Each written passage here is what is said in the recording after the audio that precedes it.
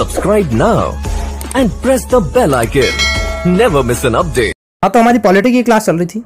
और जैसा कि आपको पता है, हमने इससे पहले वाली क्लासों में देखा कि किसी राज्य की जो सरकार होती है, उसे सामान्यतः तीन भागों में बांटा जाता है। पहला भाग उस राज्य की कार्य विधानमंडल होता है। दूसरा भाग उस राज्य की विधान कार्यपालिका होती है और तीसरा भाग उस राज्य का न्यायपालिका कहलाता है।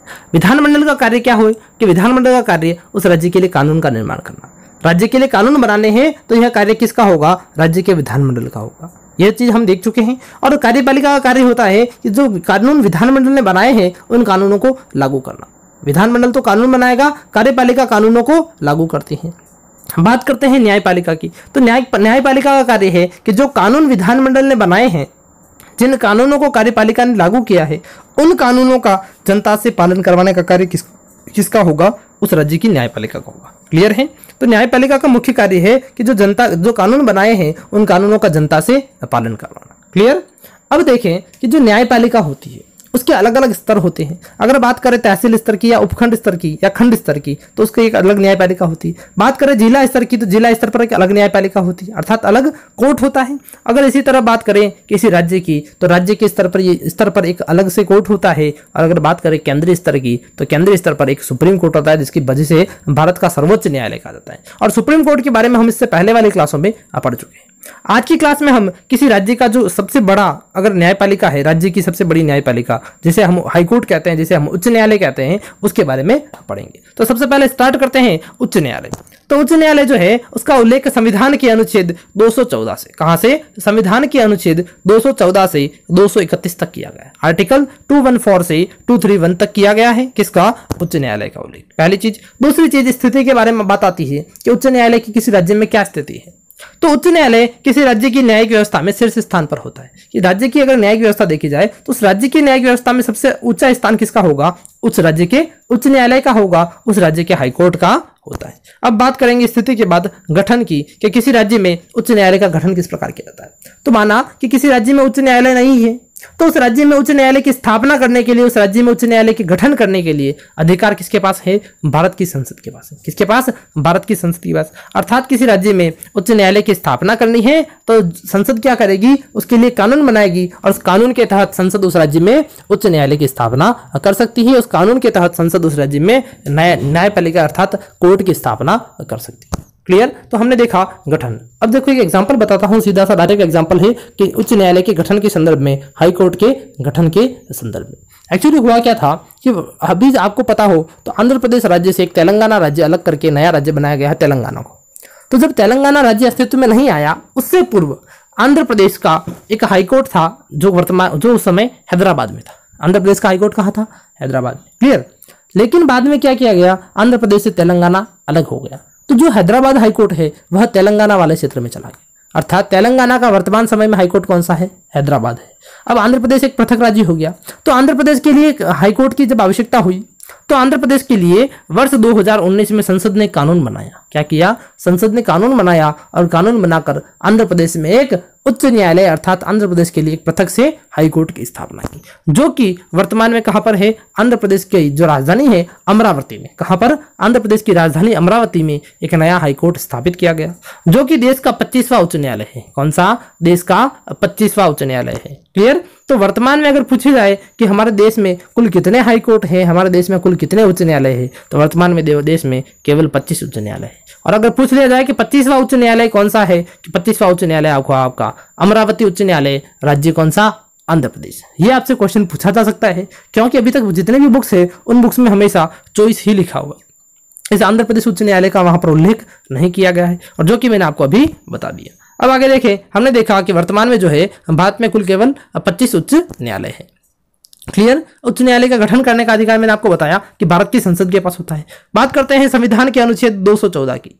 और इस अनुच्छेद 214 के अनुसार प्रत्येक राज्य में क्या होगा? एक उच्च न्यायालय का प्रावधान किया कि जब हमारा मूल संविधान बना भारत का और जब मूल संविधान लागू किया गया तो संविधान का अनुच्छेद 214 बना और 214 में कहा गया कि भारत के प्रत्येक राज्य में क्या होगा? एक उच्च न्यायालय होगा। क्लियर अब इस अगर इस, इस नियम को माने तो भारत में वर्तमान में राज्य कितने हैं? अट्ठाईस है ना? तो 28 राज्य है तो 28 केंद्र 28 राज्य है तो उनके हिसाब से 28 उच्च न्यायालय होना चाहिए।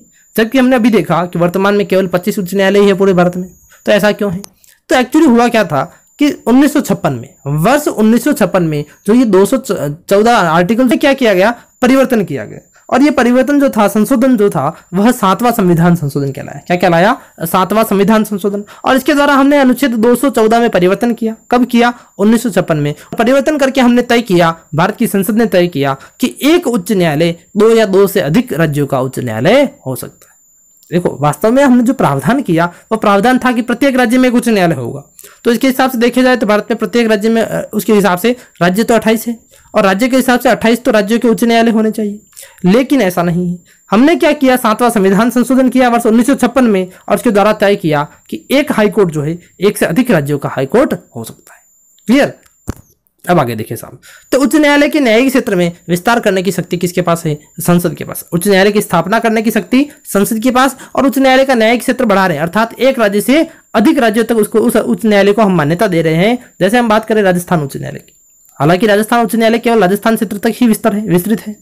या फिर अगर हम पंजाब की बात करें और हरियाणा की बात करें तो पंजाब और हरियाणा राज्य कितने हैं, दो। और इन दोनों का केवल एक ही उच्च न्यायालय है, संयुक्त उच्च न्यायालय। अर्थात एक उच्च न्यायालय एक से अधिक राज्यों का उच्च न्यायालय हो सकता है, ये बात कही गई है सातवें संविधान संशोधन के द्वारा वर्ष उन्नीस सौ छप्पन में की गई।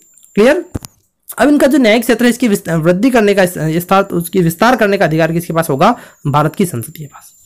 अब हम बात करेंगे आगे, राजस्थान उच्च न्यायालय तो राजस्थान उच्च न्यायालय जो है, इसमें राजस्थान के एकीकरण के समय बी आर पटेल की अध्यक्षता में तीन सदस्यीय समिति बनाई गई देखो एक्चुअली हुआ क्या था कि जब आप प्राचीन राजस्थान की बात करें जब भारत आज़ाद हुआ, उस समय की बात करें तो आज़ादी के से पूर्व अगर देखा जाए तो राजस्थान में एक अनेक रियासतें थी। अनेक छोटी छोटी रियासतें थी। और यह रियासतें समय के साथ साथ आपस में मिलती गई और वर्तमान राजस्थान वर्तमान राजस्थान के रूप में अस्तित्व में आई।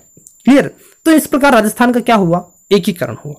तो एकीकरण के समय यह तय करना जब राजस्थान बना, एकीकरण के समय जब राजस्थान बना तो राजस्थान के लिए तय करना था कि राजस्थान की राजधानी क्या होगी। क्योंकि हमने बहुत सारी रियासतों को मिलाकर एक राजस्थान बनाया और हमें तय करना था कि राजस्थान की राजधानी क्या होगी, राजस्थान के लिए उच्च न्यायालय अर्थात राजस्थान हाईकोर्ट कहाँ पर स्थापित किया जाएगा।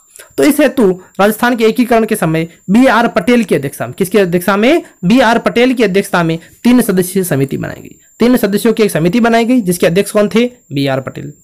और इस समिति का उद्देश्य उद्देश्य क्या था? इस समिति का उद्देश्य था कि राजस्थान के लिए राजधानी निश्चित करना। राजस्थान के लिए राजधानी निश्चित करना पहला उद्देश्य तथा दूसरा उद्देश्य था कि राजस्थान में उच्च न्यायालय का स्थान निर्धारित करना।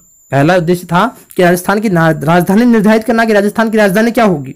और दूसरा उद्देश्य था कि राजस्थान में उच्च न्यायालय पर उच्च न्यायालय के लिए कौन सा स्थान उपयुक्त होगा, उसका सुझाव देना क्लियर?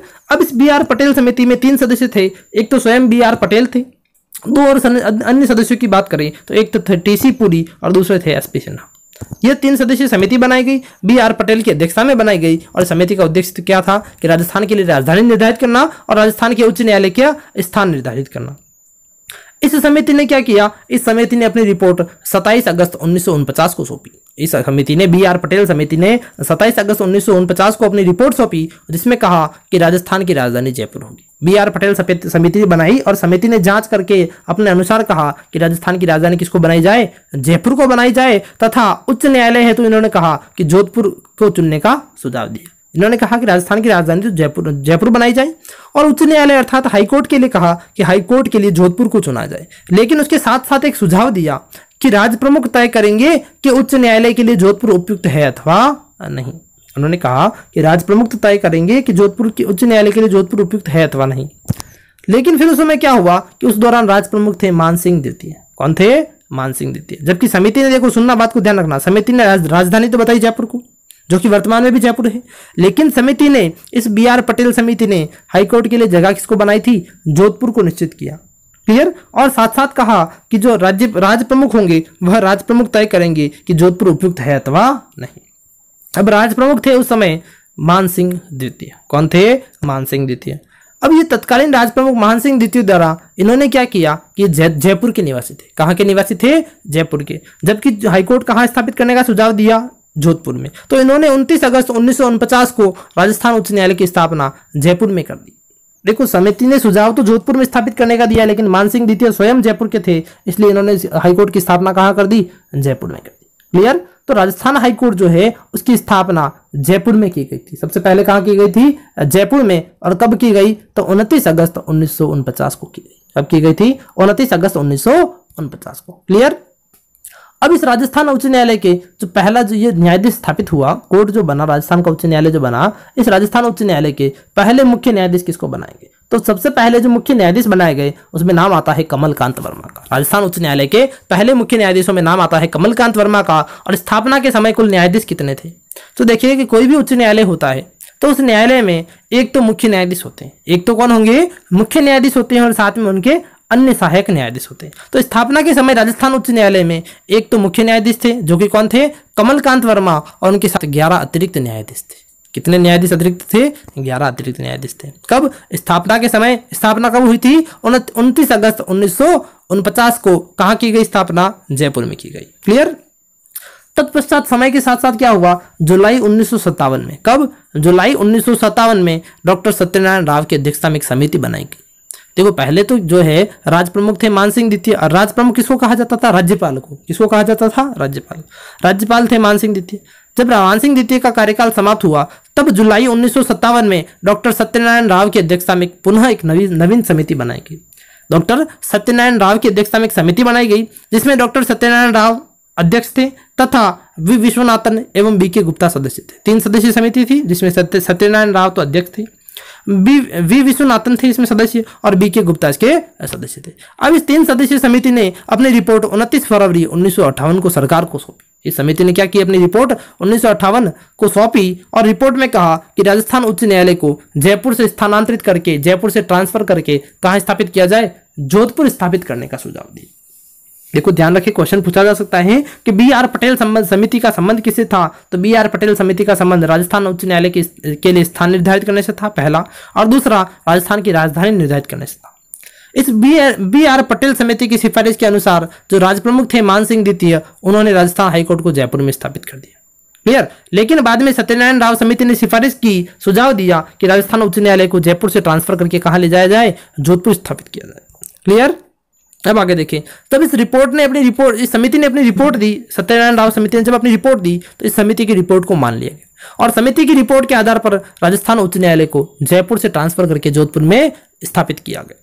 तो राजस्थान उच्च न्यायालय की सबसे पहले अगर स्थापना पूछी जाए तो सर्व सबसे पहले स्थापना जयपुर में हुई थी। और बाद में उन्नीस में इस राजस्थान उच्च न्यायालय को जयपुर से जोधपुर स्थानांतरित किया गया था। बात समझ में आ चुकी होगी आपको, दो समितियाँ बनाई। पहली बी आर पटेल समिति और दूसरी डॉक्टर सत्यनारायण राव समिति। क्लियर? अब आगे देखें। 8 दिसंबर उन्नीस सौ छिहत्तर को 8 दिसंबर उन्नीस को। देखो, हमने क्या किया? राजस्थान हाईकोर्ट को जोधपुर में स्थापित कर दिया। अब उसके बाद की बात कर रहे हैं कि आठ दिसंबर उन्नीस को हरिदेव जोशी सरकार ने, अर्थात हरिदेव जोशी मुख्यमंत्री बने। और उस हरिदेव जोशी सरकार ने क्या किया? राजस्थान उच्च न्यायालय के खंडपीठ जयपुर में स्थापित करने का निर्णय लिया। जो राजस्थान उच्च न्यायालय हमने जोधपुर स्थापित किया, सबसे पहले जयपुर किया, फिर ट्रांसफ़र करके जोधपुर ले चले गए। अब जोधपुर, जो राजस्थान उच्च न्यायालय था, उसके एक खंडपीठ अर्थात एक ब्रांच को जयपुर में स्थापित करने का निर्णय लिया। किसने लिया? हरिदेव जोशी सरकार ने। जिसके परिणाम स्वरूप 1 जनवरी 1977 को राजस्थान उच्च न्यायालय की जयपुर खंडपीठ की स्थापना की गई। देखो, राजस्थान उच्च न्यायालय जोधपुर में है वर्तमान में, और उस समय भी जोधपुर में था, लेकिन हरिदेव जोशी सरकार ने क्या किया कि राजस्थान उच्च न्यायालय की एक अन्य ब्रांच अर्थात एक खंड, खंडपीठ को खोलकर कहाँ पर स्थापित कर दिया? जयपुर में स्थापित कर दिया। अब इससे रिलेटेड क्वेश्चन ये पूछा जा सकता है कि इस खंडपीठ को मान्यता कब दी गई? तो इस खंडपीठ को, देखिए, स्थापना उन्नीस में हुई, लेकिन इसको मान्यता वर्ष 2008 में दी गई। कब दी गई? वर्ष 2008 में इसे मान्यता दी गई। अब अनुच्छेद 216 की बात करते हैं आगे। अनुच्छेद 216 के तहत उच्च न्यायालय में एक मुख्य न्यायाधीश व अन्य न्यायाधीशों का प्रावधान किया गया। जैसा कि आपको मैंने पहले बताया कि राजस्थान के न्यायालय की जब स्थापना की गई जब कमलकांत वर्मा मुख्य न्यायाधीश थे, उस समय उनके साथ 11 अन्य न्यायाधीश थे। तो अनुच्छेद 216 कहता है कि उच्च न्यायालय में एक तो मुख्य न्यायाधीश होगा और उसके अतिरिक्त कुछ अन्य न्यायाधीश होंगे। क्लियर? अब संविधान द्वारा उच्च न्यायालय के न्यायाधीशों की संख्या, अर्थात किसी न्यायालय में कुल कितने न्यायाधीश होंगे, कुल कितने जज होंगे किसी कोर्ट में, और उन जज का वेतन क्या होगा, आदि के निर्धारण के संबंध में भारतीय संसद को अधिकार प्राप्त है। अर्थात इनके वेतन का निर्धारण कौन करेगा? भारतीय संसद करेगी, और इसी के साथ साथ भारतीय संसद को अधिकार दिया गया कि किसी हाई कोर्ट में कितने न्यायाधीश होंगे, उनकी संख्या कितनी होगी। क्लियर? और संसद चाहे तो इनमें परिवर्तन कर सकती है, संसद इनको घटा सकती है, संसद इन्हें बढ़ा सकती है। ये सारा अधिकार किसके पास है? भारतीय संसद के पास। क्लियर अब बात करें कि जिस प्रकार हमने देखा कि स्थापना के समय राजस्थान उच्च न्यायालय में एक प्लस ग्यारह न्यायाधीश थे तो वर्तमान में कितने न्यायाधीश हैं? वर्तमान में राजस्थान उच्च न्यायालय जोधपुर में है और वर्तमान में राजस्थान उच्च न्यायालय में एक प्लस पचास न्यायाधीश है। कितने? एक प्लस पचास। एक तो मुख्य न्यायाधीश होंगे और पचास अन्य न्यायाधीश हैं। क्लियर है यहाँ तक? अब आगे देखिए साहब, सबसे पहले बात करते हैं योग्यता, कि न्यायाधीश बनने के लिए क्या क्या योग्यता होना आवश्यक है। पहली बात कि वह भारत का नागरिक होना चाहिए। दूसरी शर्त यह है कि वह भारत के न्यायिक क्षेत्र में कम से कम 10 वर्षों तक न्यायिक पद धारण कर चुका। अर्थात वह भारत के जुडिशियल एरिया में, भारत के न्यायिक क्षेत्र में 10 वर्षों तक क्या रहा हो? किसी न्यायिक न्यायिक क्षेत्र में, न्यायिक सेवा में रह चुका हो। क्लियर पहली चीज़। या फिर उसमें क्या होना चाहिए कि वह किसी उच्च न्यायालय को, देखो या तो पहली योग्यता होनी चाहिए या फिर दूसरी, इन दोनों में से कोई एक। या किसी उच्च न्यायालय का, या किसी अन्य न्यायालय का कम से कम दस वर्षों तक लगातार अधिवक्ता रहा हो। पहली चीज़ तो है कि वह दस वर्षों तक क्या रहा हो? न्यायिक पद धारण कर चुका हो। पहली चीज़ तो ये। अगर वह नहीं है तो दूसरी योग्यता यह है कि वह किसी न्यायालय का, किसी उच्च न्यायालय का, या किसी अन्य न्यायालय का कम से कम दस वर्षों तक अधिवक्ता रहा हो, अर्थात कम से कम दस वर्षों तक वकील रहा हो। क्लियर अब बात करेंगे योग्यता के बाद शपथ की, कि जो उच्च न्यायालय के जो न्यायाधीश है, उन्हें शपथ कौन दिलाता है? तो उच्च न्यायालय कि देखो, अनुच्छेद 219 के अनुसार उच्च न्यायालय के मुख्य न्यायाधीश को शपथ राज्यपाल दिलाता है। जैसा कि हमने देखा कि उच्च न्यायालय में एक तो मुख्य न्यायाधीश होता है और उसके अतिरिक्त तो कुछ अन्य न्यायाधीश होते हैं। तो मुख्य न्यायाधीश है, उनको शपथ अनुच्छेद 219 के अनुसार राज्यपाल दिलाता है। कौन दिलाता है? राज्यपाल। जबकि जो अन्य न्यायाधीश होते हैं, उन अन्य न्यायाधीशों को शपथ मुख्य न्यायाधीश स्वयं दिलाता है। मुख्य न्यायाधीश को तो राज्यपाल ने दिला दी और फिर क्या करेगा? मुख्य न्यायाधीश जो है, अन्य न्यायाधीशों को शपथ दिलागा, दिलाएगा और इसका उल्लेख संविधान के अनुच्छेद 219 में किया। बात करते हैं योग्यता शपथ के बाद कार्यकाल की। कि उच्च न्यायालय के जो न्यायाधीश होंगे, इनका कार्यकाल कितने समय के लिए होता है, कितने आयु के लिए होता है? तो उच्च न्यायालय के न्यायाधीश बासठ वर्ष की आयु तक अपने पद पर बने रहते हैं। कब तक? उच्च न्यायालय के न्यायाधीश जो होंगे, जो जज होंगे, उनकी जो रिटायरमेंट एज है, वह सिक्सटी टू ईयर्स है। अर्थात बासठ वर्ष की आयु के बाद इन्हें पद से सेवानिवृत्त कर दिया जाता है।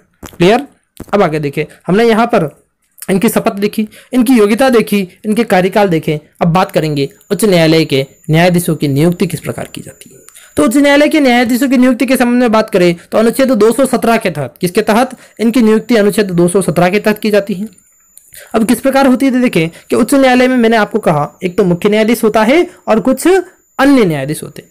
सबसे पहले हम बात करेंगे मुख्य न्यायाधीश की नियुक्ति किस प्रकार की जाती है। तो उच्च न्यायालय के मुख्य न्यायाधीश की नियुक्ति, सर्वोच्च न्यायालय के मुख्य न्यायाधीश व संबंधित राज्य के राज्यपाल के परामर्श से राष्ट्रपति द्वारा की जाती है। देखिए, समझे इस बात को कि अनुच्छेद 217 के तहत जो है, उच्च न्यायालय के मुख्य न्यायाधीश की नियुक्ति की जाती है। किसकी? हाई कोर्ट के चीफ जज की नियुक्ति की जाती है, चीफ जज की पोस्टिंग की जाती है। क्लियर? अब ये नियुक्ति कौन करेगा? तो यह नियुक्ति राष्ट्रपति द्वारा की जाती है। राष्ट्रपति किस प्रकार करता है? तो राष्ट्रपति जो भारत का सर्वोच्च न्यायालय है उस सर्वोच्च न्यायालय के अर्थात सुप्रीम कोर्ट के जो चीफ जज होंगे, मुख्य न्यायाधीश होंगे, उनसे और उस राज्य के राज्यपाल से परामर्श लेंगे और उसके आधार पर उस राज्य में, उस राज्य के उच्च न्यायालय में एक जो मुख्य न्यायाधीश होंगे, उनकी नियुक्ति की जाती है। किसके द्वारा नियुक्ति होगी? तो राष्ट्रपति के द्वारा। यह हमने देखी मुख्य न्यायाधीश की नियुक्ति। बात करते हैं मुख्य न्यायाधीश के अतिरिक्त जो अन्य न्यायाधीश होते हैं, उनकी नियुक्ति किस प्रकार की जाती है। तो अन्य न्यायाधीशों की नियुक्ति उच्च न्यायालय के मुख्य न्यायाधीश व राज्य के राज्यपाल के परामर्श से राष्ट्रपति करता है। देखो, जो न्याय न्याय कोर्ट जो है, उस कोर्ट के जो जज है, उन जज की नियुक्ति हमेशा राष्ट्रपति ही करेगा। हाई कोर्ट जो है, हाई कोर्ट के जज की नियुक्ति हमेशा राष्ट्रपति ही करता है। अब मुख्य न्यायाधीश है तो मुख्य न्यायाधीश के संबंध में राज्य राष्ट्रपति क्या करेगा? राज्यपाल से परामर्श लेगा। और राज्यपाल के साथ साथ जो भारत का जो सर्वोच्च न्यायालय है, जो सुप्रीम कोर्ट ऑफ़ इंडिया है, उसके जो चीफ जज है, उसके जो मुख्य न्यायाधीश है, उनसे परामर्श लेगा। क्लियर लेकिन जो अन्य न्यायाधीश है, उनकी नियुक्ति के लिए क्या करेगा कि राष्ट्रपति उनकी नियुक्ति उनकी नियुक्ति भी राष्ट्रपति द्वारा की जाती है, अन्य न्यायाधीशों की भी। लेकिन उसके संबंध में अलग से प्रावधान है कि अन्य न्यायाधीशों की नियुक्ति उच्च न्यायालय के मुख्य न्यायाधीश जो उच्च न्यायालय जो हम जिस, जिसको हमने हाईकोर्ट का जो चीफ जज बनाया, एक तो उनसे परामर्श लेगा और उस राज्य के राज्यपाल से परामर्श लेकर राष्ट्रपति क्या करेगा? अन्य न्यायाधीशों की नियुक्ति करेगा। क्लियर? तो हमने यहाँ पर नियुक्ति देखी। अब बात करेंगे वेतन की। तो वेतन के अंदर देखा जाए कि उच्च न्यायालय के न्यायाधीशों को वेतन राज्य की संचित निधि से दिया जाता है। किसे दिया जाता है? उच्च न्यायालय के जो न्यायाधीश होते हैं, उनको वेतन राज्य की संचित निधि से दिया जाता है। अब संचित निधि क्या होती है? तो मैंने आपको पहले भी बताया कि राज्य की जो जितनी जनता है, उन जनता से जितना भी राजस्व प्राप्त होता है, उस राजस्व को जहाँ इकट्ठा किया जाता है, उसको संचित निधि कहते हैं। क्या कहते हैं? संचित निधि। क्लियर? उच्च न्यायालय के जो मुख्य न्यायाधीश होंगे, उनका वेतन तो होता है दो लाख पचास हज़ार। हम बात कर रहे हैं वेतन की। तो उच्च न्यायालय के मुख्य न्यायाधीश का वेतन है दो लाख पचास हज़ार रुपए, जबकि उच्च न्यायालय के जो अन्य न्यायाधीश होते हैं, उनका वेतन है दो लाख पचास हज़ार रुपए, पच्चीस हज़ार रुपए मासिक। देखिए, दो लाख पचास हज़ार तो चीफ जज की है, और जो अन्य जज है, उनका वेतन है दो लाख पच्चीस हज़ार रुपए मासिक होगा। क्लियर इस प्रकार हमने यहाँ इनकी नियुक्ति किसके द्वारा की जाती है? नियुक्ति की प्रक्रिया देखी और नियुक्ति की प्रक्रिया के साथ साथ हमने वेतन देखा और वेतन में हमने देखा कि उच्च न्यायालय का जो मुख्य न्यायाधीश होता है, उनका वेतन दो लाख पचास हज़ार रुपये होता है, जबकि जो अन्य न्यायाधीश होते हैं, उनका वेतन दो लाख पच्चीस हज़ार रुपये होता है। अब बात करेंगे वेतन के बाद स्थानांतरण की। स्थानांतरण जिसको हम ट्रांसफ़र कहते हैं। अगर राष्ट्रपति चाहे तो उच्च न्यायालय के किसी जज को एक कोर्ट से किसी अन्य उच्च न्यायालय में स्थानांतरित कर सकता है, किसी अन्य हाई कोर्ट में ट्रांसफ़र कर सकता है। तो इस बात का उल्लेख जो है, संविधान के अनुच्छेद 222 में किया गया है और राष्ट्रपति 222 के तहत कहता है कि उच्च न्यायालय के न्यायाधीशों को एक उच्च न्यायालय से दूसरे उच्च न्यायालय में स्थानांतरित कर सकता है। बात का ध्यान रखें, राष्ट्र राष्ट्रपति जो है, हाईकोर्ट के जज का ट्रांसफ़र कर सकता है। एक हाईकोर्ट से किसी अन्य हाईकोर्ट में उनको स्थानांतरित कर सकता है। इसका उल्लेख संविधान के अनुच्छेद दो सौ बाईस में किया गया क्लियर? अब आगे देखिए। इस हेतु जब देखो इनका ट्रांसफ़र करेगा तो राष्ट्रपति क्या करेगा? राष्ट्रपति संबंधित उच्च न्यायालय के मुख्य न्यायाधीश व सर्वोच्च न्यायालय के मुख्य न्यायाधीश से परामर्श लेता है। जब राष्ट्रपति ट्रांसफ़र करता है तो उस न्यायालय के जो मुख्य न्यायाधीश होंगे उनसे और जो सर्वोच्च न्यायालय, जो हमारा सुप्रीम कोर्ट ऑफ़ इंडिया है, उसके जज से क्या करेगा? परामर्श लेता है। और उनके परामर्श के अनुसार इन न्यायाधीशों का स्थानांतरण किया जा सकता है। बात करेंगे कार्यकारी मुख्य न्यायाधीश की, कि कार्यकारी मुख्य न्यायाधीश क्या होते हैं? तो देखिए कि जब उच्च न्यायालय का मुख्य न्यायाधीश अनुपस्थित हो देखो, हमने देखा कि एक उच्च न्यायालय में एक तो मुख्य न्यायाधीश होता है, हाईकोर्ट में एक तो मुख्य न्यायाधीश होते हैं, उसके साथ साथ कुछ अन्य न्यायाधीश होते हैं। अब जब मुख्य न्यायाधीश अनुपस्थित हो, वहाँ पर कार्य करने में असमर्थ हो, है ना तो ऐसी कंडीशन में उनके स्थान पर जो व्यक्ति कार्य करता है, उसको कार्यकारी न्यायाधीश कहते हैं। क्या कहते हैं? कार्यकारी जज कहते हैं। क्लियर अब इन कार्यकारी न्याय मुख्य न्यायाधीश जो होते हैं, इनकी नियुक्ति किसके द्वारा की जाती है? तो कार्यकारी मुख्य न्यायाधीश की नियुक्ति राष्ट्रपति द्वारा उच्च न्यायालय के न्यायाधीशों में से ही की जाती है। सबसे पहली बात कि नियुक्ति कौन करेगा? तो राष्ट्रपति करेगा। अब नियुक्त किसको करेगा? तो उच्च न्यायालय के जो जज है, अदर जो जज है, उनमें से ही किसी एक व्यक्ति को क्या करेंगे? कार्यकारी उच्च मुख्य न्यायाधीश बना दिया जाता है। अब ये कार्यकारी मुख्य न्यायाधीश कब कार्य करेगा? जब मुख्य न्यायाधीश अनुपस्थित हो, उस समय कार्यकारी मुख्य न्यायाधीश कार्य करता है। क्लियर? और इनकी अवधि जो होती है, ये कितने समय के लिए कार्यकारी मुख्य न्यायाधीश कार्य कर सकता है? तो अधिकतम दो वर्ष के लिए। कितने समय के लिए? अधिकतम दो वर्ष के लिए कार्यकारी मुख्य न्यायाधीश कार्य करेगा। अब बात करेंगे इनको पद से हटाने की प्रक्रिया में, कि पद से किस प्रकार हटाया जाता है। तो इस बात को ध्यान से सुने कि जब हमने सर्वोच्च न्यायालय पढ़ा और सर्वोच्च न्यायालय के न्यायाधीशों को पद से हटाने की प्रक्रिया देखी, वही प्रक्रिया किसी राज्य के उच्च न्यायालय के जो जज होते हैं, उनको हटाने के लिए लागू होती। तो पद से हटाने की प्रक्रिया के संदर्भ संदर्भ में बात करें कि सिद्ध व कदाचार के आरोप पर, अर्थात अनुशासनहीनता व असंवैधानिक कार्य करने पर। अनुशासनहीनता हो जाए या संविधान के विरुद्ध कोई कार्य कर दिया कार्य कर दिया जाए तो ऐसी कंडीशन में न्यायाधीश जाँच अधिनियम उन्नीस द्वारा उच्च न्यायालय के न्यायाधीशों को पद से हटाया जा सकता है। इस प्रकार न्यायाधीश जाँच अधिनियम उन्नीस सौ अड़सठ के द्वारा उच्च न्यायालय के जो न्यायाधीश है, उनको पद से हटाया जा सकता है। और यह प्रक्रिया हमने जब सर्वोच्च न्यायालय के न्यायाधीशों को हटाने के, पद से हटाने के बारे में देखी थी, तब भी हमने पूरी पढ़ी थी। वही सेम प्रोसेस है जो हमने सुप्रीम कोर्ट में पढ़ी, वही आपके हाई कोर्ट में लागू होती है।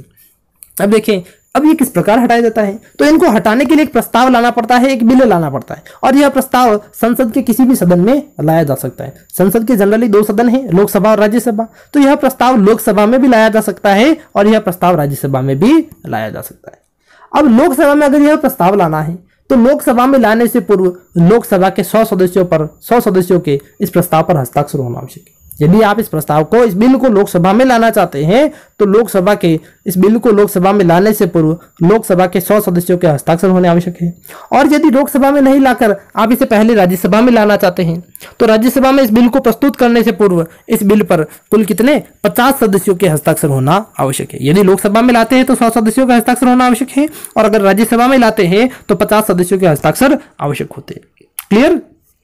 अब देखो, हमने देखा कि बिल को ला रहे हैं आप लोकसभा या राज्यसभा, दोनों में ला सकते हैं। लोकसभा की शर्त सौ सदस्य होने चाहिए और राज्यसभा की सदस्य शर्त है कि वहाँ पचास सदस्यों के साइन होने चाहिए। इसके पश्चात क्या करेंगे? सदस्यों के हस्ताक्षर होने के पश्चात भी संबंधित सदन के सभापति या संबंधित सदन के अध्यक्ष इस प्रस्ताव को स्वीकार या अस्वीकार कर सकते हैं। देखो, आपने अगर सौ सदस्यों के हस्ताक्षर भी करा दिए, लोकसभा में अगर लाए हैं, या राज्यसभा में लाए हैं और पचास सदस्यों के हस्ताक्षर हो गए उसके पश्चात भी अगर लोकसभा का अध्यक्ष चाहे या राज्यसभा का सभापति चाहे तो उस प्रस्ताव को स्वीकार भी कर सकता है और अस्वीकार भी कर सकता है। अब माना यदि सदन का सभापति या अध्यक्ष उस प्रस्ताव को स्वीकार कर ले उस बिल को एक्सेप्ट कर ले, तब क्या होगा? तो क्या करी जाएगा कि राज्यसभा में तीन सदस्यीय जाँच समिति इन आरोपों आरोपों की क्या करती है? जाँच करती है।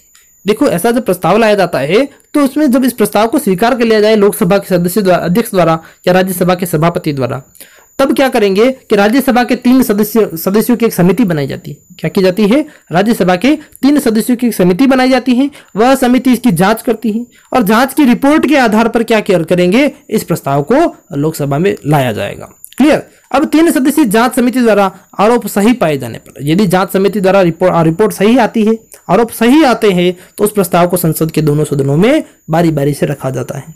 जहाँ पर लोकसभा में दो तिहाई, दो बटा तीन बहुमत से, अर्थात दो तिहाई बहुमत से यह प्रस्ताव क्या होगा? पारित हो जाएगा। देखो, लोकसभा में रखा पहले तो लोकसभा में अगर ये, इसमें दो तिहाई बहुमत से अगर बिल पास हो गया तो लोकसभा के बाद राज्यसभा में जाएगा। और राज्यसभा में भी कितना बहुमत होना चाहिए, दो तिहाई बहुमत से बिल पास होना चाहिए। और अगर आप लोकसभा में रख के राज्यसभा में रखते हो, या फिर आप राज्यसभा में रखोगे तो फिर आपको लोकसभा में ले जाना पड़ेगा। दोनों में अल्टरनेट चलता है।